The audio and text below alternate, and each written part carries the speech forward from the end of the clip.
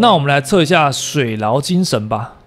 水牢精神我要测的是它的秒数大概多少，因为上面我记得是没有特别写秒数的，它只有写增加几率，它并没有写成秒数区间。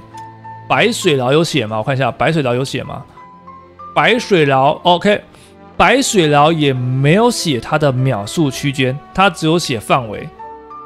我们测这两个就好了，因为它的效能啊，也就是它的抵 buff 的能力，我们都知道，所以我们今天比较需要知道是它的秒数。我们点放三重啊，点放三重看一下秒数，简单看一下就好了。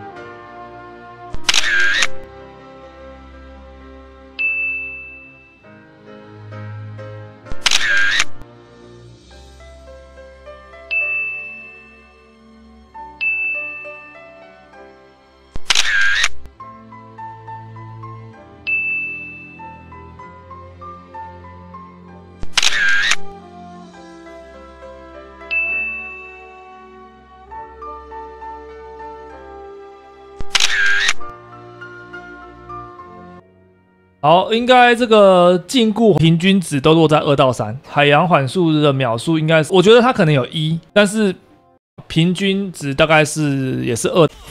这个资讯啊是官方技能说明上面没有写到的，你们不要看水牢这样子，水牢很可怕啊，它是可以连续发动。那这边我现在点放啊，连续中两个水牢，对方飞不走就直接秒掉。运气不好就是一直被封，被封，被封到不了。如果你是被一群妖精骑射，就是封到底都动不了。它没有 CD，这是我们今天测的第三招技能水牢精神。这个你们觉得我今天的任何测试啊，有任何一个对你有帮助的话，帮我点个赞，点个订阅。全新一般级技能水牢，攻击时目标以一定几率囚禁在水牢之中，并且在破除后受到水之缓速的 debuff，属性为水属性。